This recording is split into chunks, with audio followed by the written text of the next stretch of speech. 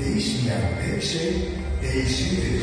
Sözü kulaklarınıza tekrar çalınırken geçmiş yıllardaki yüzyıllık değişimin bir yıla kadar inliğine şahit oluyoruz.